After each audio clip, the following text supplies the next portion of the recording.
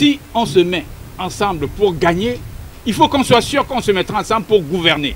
Selon Jean-Jacques Ekindi, président du mouvement progressiste, le plus important dans une élection n'est pas d'élire un champion pour sept ans, mais d'élire un projet de société porté par un homme et son équipe. Un électeur est d'abord un citoyen. Un citoyen, il a des problèmes. Et ce qu'il demande au candidat, c'est de lui dire, une fois élu, comment il va traiter ses problèmes. Vous êtes à Douala, vous êtes envahi par les inondations. Dit, bon, si toi tu es élu, tu fais quoi pour les inondations?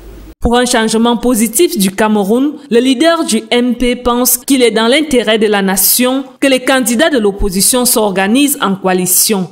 Il est souhaitable que dans un pays comme le nôtre, nous ayons un pouvoir fort et une opposition forte. Parce qu'un pays, il a deux pieds. Si un des pieds est faible, il est atrophié il est bancal, il est handicapé, il ne peut pas avancer normalement. Et je suis sûr que même dans la lutte contre la corruption, si on avait une opposition forte, cette corruption serait réduite. Parce qu'on a vu en Espagne, ce n'est pas les lois contre la corruption qui ont fait partir Rajoy. Mais c'est parce qu'il y a une opposition qui a dit tu dois partir parce que tu es corrompu. Mais si l'opposition, elle n'a pas de consistance, il sera difficile qu'elle à différents niveaux. La conférence de presse organisée ce 13 août à Douala avait donc pour objectif d'appeler les candidats de l'opposition à fixer les modalités d'une éventuelle coalition.